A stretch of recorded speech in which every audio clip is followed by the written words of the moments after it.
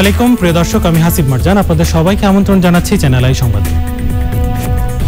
আর বিস্তারিত সংবাদের শুরুতেই জানিয়ে দিচ্ছি, ফ্রেশ ড্রিঙ্কিং ওয়াটার সংবাদ শিরোনামগুলো।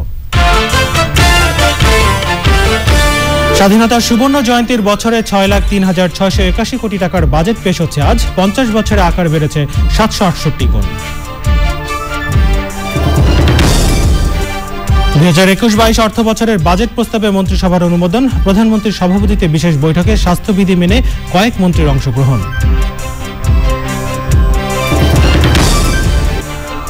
এবং দেশে করোনার দ্বিতীয় ঢেউয়ে সীমান্ত এলাকায় সংক্রমণ বাড়ায় উদ্বেগ। বিভিন্ন জেলায় বিশেষ লকডাউন কার্যকরে প্রশাসনের তৎপরতা।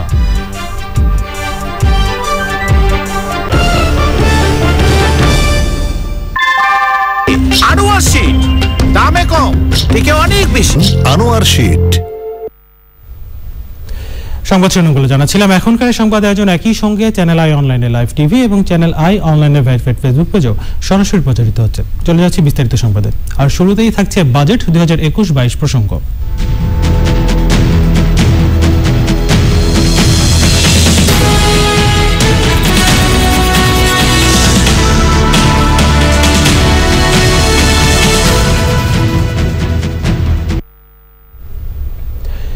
জাতীয় সংসদে দুই হাজার একুশ, দুই হাজার বাইশ অর্থ বছরের বাজেট পেশ হচ্ছে আজ। বিকেল তিনটায় অধিবেশন বসবে। বাজেট অধিবেশন উপলক্ষে জাতীয় সংসদ ভবনে আসতে শুরু করেছেন সংসদ সদস্যরা। ন্যায় হয়েছে কঠোর নিরাপত্তা। সংসদ ভবনে আছেন নীলাদ্রি শেখর, আমরা সরাসরি যাচ্ছি তার কাছে। নীলাদ্রি, এবারের বাজেট উপস্থাপন নিয়ে আমাদের জানান।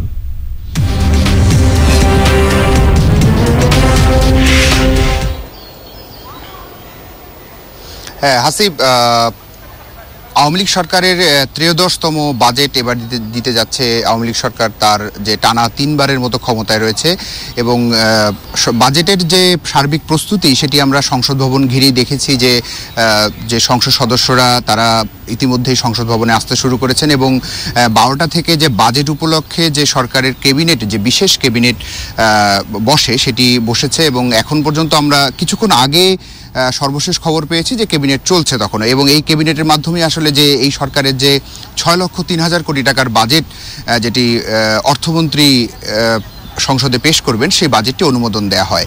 তো বাজেটকে ঘিরে যেই প্রস্তুতি সেগুলো আমরা দেখেছি এবং বাজেটে আপনি জানেন যে করোনা কাল চলছে এবং এই করোনা কালে দ্বিতীয়বারের মতো, এই মহামারীর মধ্যে দ্বিতীয়বারের মতো বাজেট দিচ্ছে এই সরকার।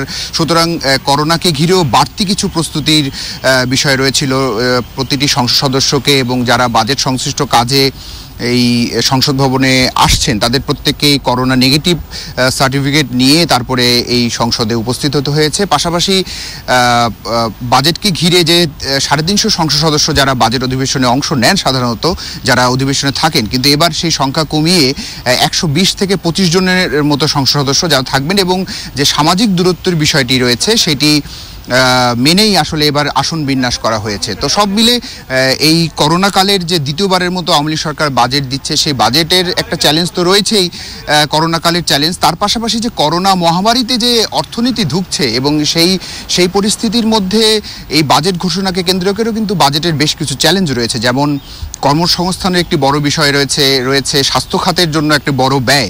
তো আমরা যতদূর জেনেছি যে অর্থমন্ত্রী এবারের যে বাজেট হতে যাচ্ছে সেই বাজেটে আসলে এই বিষয়গুলোকেও সার্বিকভাবে গুরুত্ব দেওয়া হয়েছে। বিশেষ করে স্বাস্থ্য খাতে বড় ধরনের বড় ধরনের একটি অর্থ রয়েছে। পাশাপাশি জানেন যে করোনাকালে অর্থনৈতিকভাবে সারা বিশ্বই ঢুকছে বাংলাদেশও তার মধ্যে রয়েছে। যদিও বাংলাদেশের সব মিলে অর্থনীতি অনেক অন্যান্য দেশের তুলনায়, অনেক বড় বড় দেশের তুলনায় বাংলাদেশের অর্থনীতি এই করোনাকালেও ভালো অর্থনীতির চাকা সচল রয়েছে। তারপরেও কর্মসংস্থানের একটি বড় বিষয় আছে। অনেকে কাজ হারিয়েছে। সুতরাং, এবং সামাজিক নিরাপত্তার বিষয়গুলো, এগুলোকে গুরুত্ব দিয়েই বাজেটটা প্রণয়ন করা হচ্ছে এবং তিনটার দিকে অর্থমন্ত্রী বাজেটের যে বক্তৃতা সেটি শুরু করবেন এবং আমরা আশা করছি যে হয়তো খুব বেশি বড় সাধারণত যে বাজেটের অধিবেশন বড় হয়, এবারের অধিবেশন সেই বড় হবে না এবং সম্পূরক বাজেটের উপর দুদিন আলোচনা হবে। সব মিলে হয়তো এক মাসের অধিবেশন চলবে, কিন্তু এক মাস অর্থাৎ কার্যদিবসে হয়তো পনেরো, ষোলো দিন, আঠারো দিন এরকম কার্যদিবসের এবার অধিবেশন হবে এবং এটা খুব সংক্ষিপ্ত অধিবেশনই হবে, অপেক্ষাকৃত যে বাজেট অধিবেশন হয়।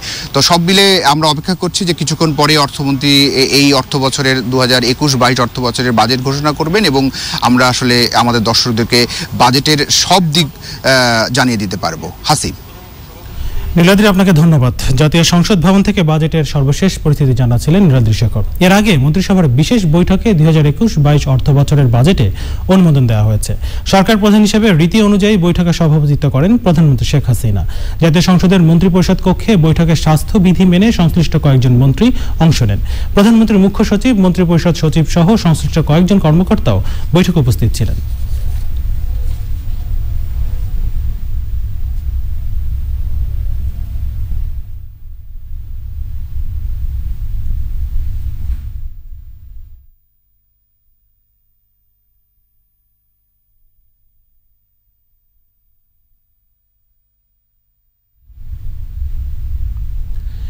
জাতীয় সংসদে দুই হাজার একুশ বাইশ অর্থ বছরের বাজেট পেশ হবে আজ। এরই মধ্যে নতুন বছরের জন্য ছয় লাখ তিন হাজার ছয়শো একাশি কোটি টাকার ব্যয় পরিকল্পনা চূড়ান্ত করেছেন অর্থমন্ত্রী আহম মুস্তফা কামাল। দেশের মানুষের ওপর করের বোঝা না চাপিয়ে বরং ব্যবসা বাণিজ্য বাঁচিয়ে রাখতে নানা ধরনের কর ছাড় দেওয়ার প্রস্তাব করা হয়েছে পেশের জন্য চূড়ান্ত বাজেট প্রস্তাবনায়। করোনাকালে এবারও বাজেট পেশের আগে উৎসবের আমেজ থাকছে না জাতীয় সংসদ ভবনে। আরও জানাচ্ছেন রিজভি নওয়াজ।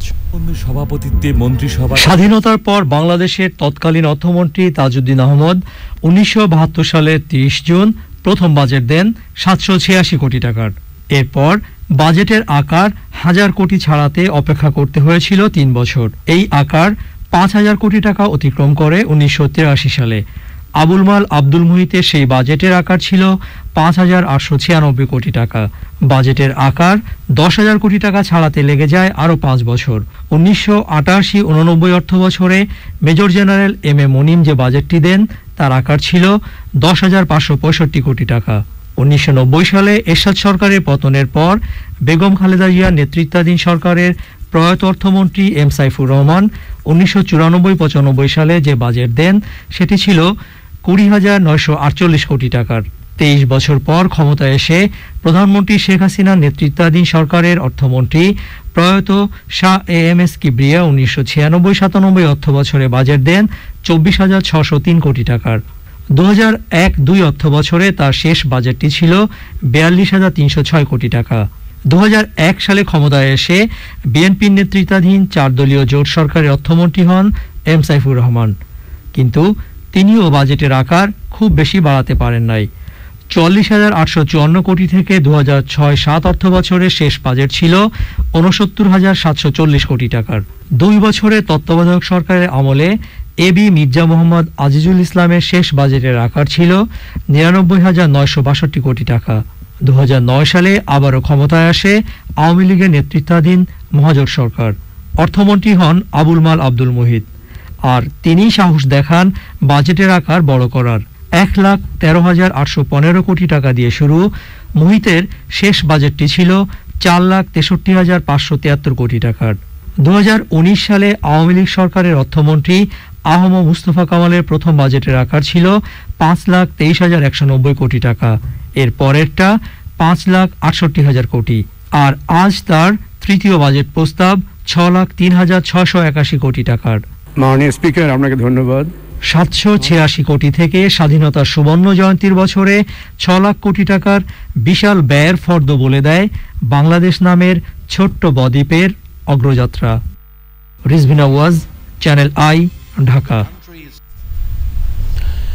দেশে করোনা সংক্রমণের দ্বিতীয় ঢেউয়ে ভারতীয় সীমান্তবর্তী এলাকাগুলোতে করোনা আক্রান্তের সংখ্যা আশঙ্কাজনকভাবে বেড়ে চলেছে। রাজশাহী সহ ওইসব এলাকার হাসপাতালগুলোতে চিকিৎসা দিতে হিমশিম খাচ্ছেন চিকিৎসকরা। তবে লকডাউনের স্বাস্থ্যবিধি মেনে চলায় চাপাই নবাবগঞ্জে সংক্রমণ কিছুটা কমেছে। বৃহস্পতিবার সন্ধ্যা থেকে রাজশাহীতে বিশেষ লকডাউন কার্যকর হচ্ছে। দেখে একটা জানাচ্ছেন বিস্তারিত। সীমান্তবর্তী জেলাগুলোতে করোনা সংক্রমণ বেশি বেড়ে চলায়, সেসব এলাকায় অঞ্চলভিত্তিক বিশেষ সতর্কতা চলছে। এর মধ্যে নওগাঁয় করোনা সংক্রমণ নিয়ন্ত্রণে আনতে বিশেষ লকডাউনের প্রথম দিন জেলা সদর ও নিয়ামতপুরে যানবাহন চলাচল ও দোকানপাট, ব্যবসা প্রতিষ্ঠান বন্ধ রয়েছে। গত চব্বিশ ঘন্টায় জেলায় একশো ছাপ্পান্ন জনের নমুনা পরীক্ষা করে তেইশ জন শনাক্ত হয়েছে। রাজশাহীতে সর্বশেষ তিনশো আটষট্টি জনের নমুনা পরীক্ষায় একশো আটান্ন জনের করোনা শনাক্ত হয়েছে। চব্বিশ ঘন্টায় মৃত্যু হয়েছে নয় জনের। রাজশাহী মেডিকেল কলেজ হাসপাতালের পরিচালক বলেন, প্রতিদিন করোনা রোগীর বাড়ায় ডাক্তার ও নার্স সংকটে সেবা দিতে হিমশিম খাচ্ছেন তারা। করোনা ম্যানেজমেন্ট এখানে যে ক্যাপাসিটি সেটা কিন্তু অলরেডি ক্রস করে গেছে। আমাদের যে অক্সিজেন ক্যাপাসিটি বেড ক্যাপাসিটি সবই কিন্তু অলরেডি আমাদের ক্রসড তো এই জন্য আমাদের আসলে অনেক রুগীকে এখন যারা আসছেন, তাদেরকে সেন্ট্রাল অক্সিজেন লাইনের পাশাপাশি আমাদের সিলিন্ডার দিয়েও ম্যানেজ করতে হচ্ছে। চাঁপাইনবাবগঞ্জ জেলা শহর থেকে দুপাল্লার বাস, ট্রেন চলাচল ও দোকানপাট বন্ধ রয়েছে। স্বাস্থ্যবিধি মেনে চলায় করোনা সংক্রমণ কিছুটা কমেছে। সিভিল সার্জন জানিয়েছেন, গত চব্বিশ ঘন্টায় জেলায় দুশো তিরিশটি নমুনা পরীক্ষায় করোনা আক্রান্ত আটানব্বই জন। খুলনায় করোনা ভাইরাসে আক্রান্ত হয়ে তিনজনের মৃত্যু হয়েছে। বুধবার থেকে চব্বিশ ঘন্টায় আক্রান্ত হয়েছেন ছেচল্লিশ জন। করোনা নিয়ন্ত্রণে আনতে রূপসা খুলনা সদর, সোনাডাঙ্গা এবং খালিশপুর থানায় জরুরি সেবা ছাড়া সকল দোকান ও জনসমাবেশ চৌঠা জুন থেকে এক সপ্তাহ বন্ধ থাকবে। Zakia Akter channel I. ছাদ রকমারি আমের সংগ্রহশালা গড়ে তুলেছেন ঢাকার জাফরাবাদের ওমর ফারুক। ছাদ কৃষি উদ্যোগ সম্প্রসারণে সরকারি সহায়তার উপর জোর দিয়েছেন তিনি। বলেছেন সিটি কর্পোরেশনের দশ ভাগ কর কমানোর মতো ওয়াসার বিল কমানো উদ্যোক্তাদের একান্ত চাওয়া। আরও জানাচ্ছেন শাইখ সিরাজ। ঢাকার জাফরাবাদের ওমর ফারুক সাততলা ভবন গড়ে তোলেন দু সালে। শুরু থেকে উদ্যোগ নেন ছাদ কৃষির মূলত ফলের বৈচিত্র্য গড়তে চান তিনি। শুরুতেই টান অনুভব করেন আমের প্রতি। রোপণ করেন দেশি বিদেশি রকমারি চেহারা আর আকার এবং স্বাদের আমের গাছ। এখন সেসব গাছের আম ছড়াচ্ছে সৌরভ। এটা হলো আপনার জাপানিজ মেয়াজাকি আর জাপানিজ এটার একটা নাম আছে তাইওনো তামাগো আপনার হলো কিং অফ চাকাবাত এটা হলো আপনার ভিয়েতনামের। ভিয়েতনামের আম।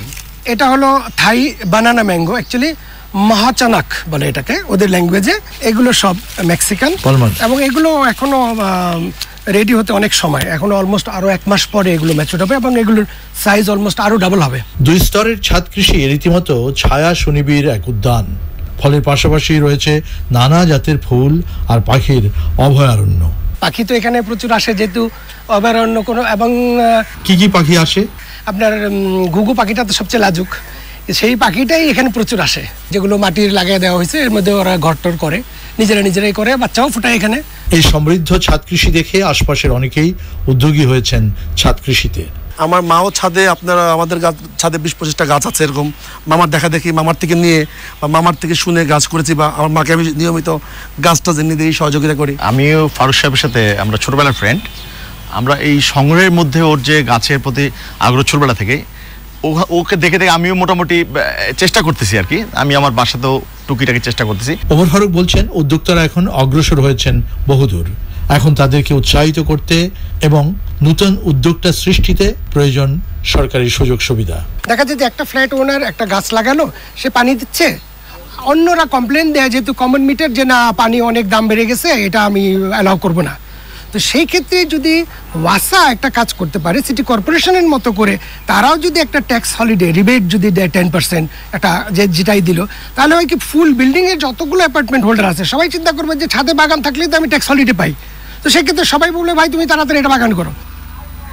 শাহিক সিরাজ চ্যানেল আই এ নিয়ে বিস্তারিত প্রতিবেদন দেখবেন আজ বিকেল তিনটা পাঁচ মিনিটে হৃদয় মাটি ও মানুষের ডাক অনুষ্ঠানে। দেখছেন চ্যানেলের সংবাদ, এই পর্যায়ে নিচ্ছে অশোক লীলাটি ফদরস বিরতি। আর বিরতির পর্যা থাকছে। বিশ্বকাপ বাছাই পর্বে আজ রাত আটটায় আফগানিস্তানের বিপক্ষে মাঠে নামবে বাংলাদেশ। রক্ষণ ও গোলরক্ষকদের মূল দায়িত্ব পালনের পরামর্শ। বিরতির পর আবার আমন্ত্রণ চ্যানেল আই সংবাদে। জানাব indie cafe global silk city সংবাদ।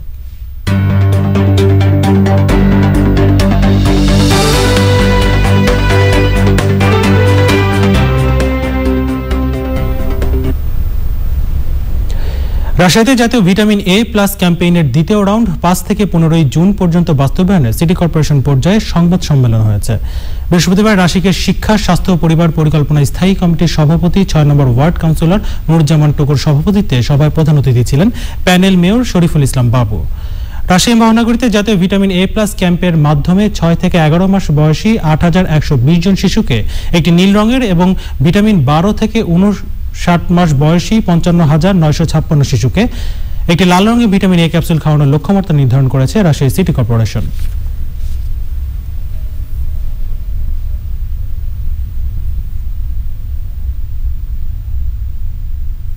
এবারে রয়েছে নিটল টাটা কৃষি সংবাদ।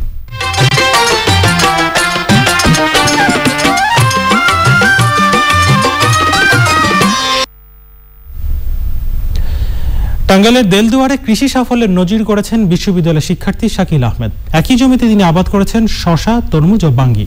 তিনটি ফলেরই ভালো ফলন হয়েছে। টাঙ্গাইল থেকে বিস্তারিত জানাচ্ছেন মুসলিম উদ্দিন আহমেদ। নোয়াখালী বিজ্ঞান ও প্রযুক্তি বিশ্ববিদ্যালয়ের শিক্ষার্থী দেলদর উপজেলার গুমদানি গ্রামের শাকিল আহমেদ পৈতৃক জমিতে শশা ব্ল্যাকবেরি জাতের তরমুজ ও বাঙ্গি আবাদ করেছেন। জমির উর্বরতার জন্য ব্যবহার করেছেন জৈব সার। কীটনাশকের বদলে ব্যবহার করেছেন জৈব পদ্ধতি। সবচেয়ে বেশি ফলন ফলানো যায় সেই লক্ষ্যে আমি আধুনিক পদ্ধতিতে অ্যাডভান্স টেকনোলজি ইউজ করার মাধ্যমে একই জমিতে তিনটি ফসলের চাষাবাদ করি। এই পাশাপাশি আশেপাশের তরুণ কৃষক যারা আছে এবং হচ্ছে যারা উদ্যোক্তা আছে তাদেরকে আমি ফ্রিতে পরামর্শ দিচ্ছি এবং তাদেরকে আমি চাষাবাদের জন্য উদ্বুদ্ধ করতেছি।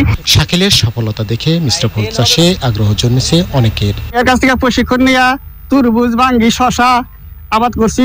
তাতে আমি অনেক লাভবান হয়েছি। শাকিল আহমেদের কাছ থেকে প্রশিক্ষণ নিয়ে আমিও বাঙ্গি শশা তরমুজ চাষ করছি। অনেক সফলতা পেয়েছি ইনশাল্লাহ আগামীতেও চাষ করব। এগুলো সবকিছু দেখে তার কাছ থেকে আমি মোটামুটি একটা প্রশিক্ষণের মতো নিয়েছি। আমি আগামীতে এই জাতের তরমুজটা করব। মিশ্র ফল আবাদের সহায়তা দেওয়ার কথা বলছে কৃষি বিভাগ। শাকিল বাণিজ্যিক কৃষিতে এলাকায় একটি দৃষ্টান্ত স্থাপন করেছে। অন্য তরুণরাও তার দেখে দেখি এই বাণিজ্যিক কৃষিতে এগিয়ে আসছে। এবং আমরা উপজেলা কৃষি অফিস থেকে শাকিল সহ অন্য যারা কৃষি উদ্যোক্তা আছে তাদেরকে ভবিষ্যতেও আমাদের অফিস থেকে তাদেরকে সহযোগিতা পরামর্শ আমরা প্রদান করে যাব। টাঙ্গালের দেলদুয়ার থেকে মুসলিমউদ্দিন আহমেদ চ্যানেল আই এখন দেখবেন প্রকৃতি সংবাদ।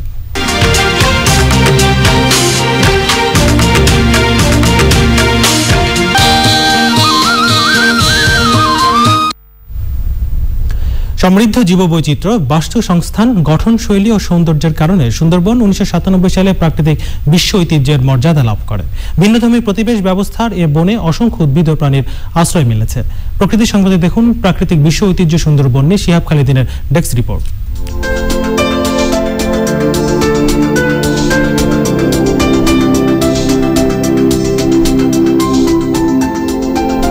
উজান থেকে বয়ে আসা পলি জমা হয়ে বঙ্গোপসাগরের কোল ঘেঁষে গড়ে উঠেছে প্রায় দশ হাজার বর্গ কিলোমিটার আয়তনের একক ম্যানগ্রোভ বন সুন্দরবন। জলজ স্থলজ প্রতিবেশ ব্যবস্থার সমাহারে গঠিত এই স্বতন্ত্র বনে বিশেষ বৈশিষ্ট্য সম্পন্ন উদ্ভিদরাজি রয়েছে। এসব উদ্ভিদরাজিকে অবলম্বন করে বেঁচে আছে বৈচিত্র্যময় বন্যপ্রাণী। এ কারণে ইউনেস্কো উনিশশো সাতানব্বই সালে সুন্দরবনকে প্রাকৃতিক বিশ্ব ঐতিহ্য হিসেবে ঘোষণা করে। স্থানভেদে সুন্দরবনের পানিতে লবণাক্ততার ভিন্নতা থাকায় উদ্ভিদের প্রজাতিগত বিন্যাসও বৈচিত্র্যময়। সুন্দরবন উদ্ভিদের পাশাপাশি বন্যপ্রাণী সম্পদেও সমৃদ্ধ। পৃথিবী বিখ্যাত বেঙ্গল টাইগার, লোনাপানির কুমির, চিত্রা হরিণ, গাঙ্গেয় শুশুক বিভিন্ন প্রজাতির সাপ ও গিরগিটি, কাছিম ব্যাং এবং পাখির উপস্থিতিতে সুন্দরবন হয়ে উঠেছে বন্যপ্রাণীর অন্যতম আবাসস্থল। এখানকার জলজ অংশে রয়েছে মাছ, চিংড়ি কাঁকড়া সহ অন্যান্য জলজ প্রাণী। সুন্দরবনের প্রাকৃতিক সম্পদের উপর নির্ভর করে জীবিকা নির্বাহ করছে স্থানীয় জনগণ। তবে প্রাকৃতিক ও অর্থনৈতিকভাবে গুরুত্বপূর্ণ হলেও বিভিন্ন নেতিবাচক কর্মকাণ্ডের কারণে সুন্দরবন তার প্রাচুর্য হারাতে বসেছে। তাই টেকসই ব্যবস্থাপনা পদ্ধতি প্রয়োগ, জনসচেতনতা বৃদ্ধি এবং জীববৈচিত্র্য সংরক্ষণের উদ্যোগ গ্রহণের মাধ্যমে টিকিয়ে রাখা সম্ভব প্রাকৃতিক বিশ্ব ঐতিহ্য সুন্দরবন। শিহাব খালেদিন, প্রকৃতি ও জীবন ডেস্ক, চ্যানেল আই। প্রাকৃতিক বিশ্ব ঐতিহ্য সুন্দরবন নিয়ে বিস্তারিত প্রতিবেদন দেখবেন আজ রাত এগারোটা ত্রিশ মিনিটে প্রকৃতি জীবন অনুষ্ঠানে। এবারে জানাব ইভ্যালি খেলার খবর।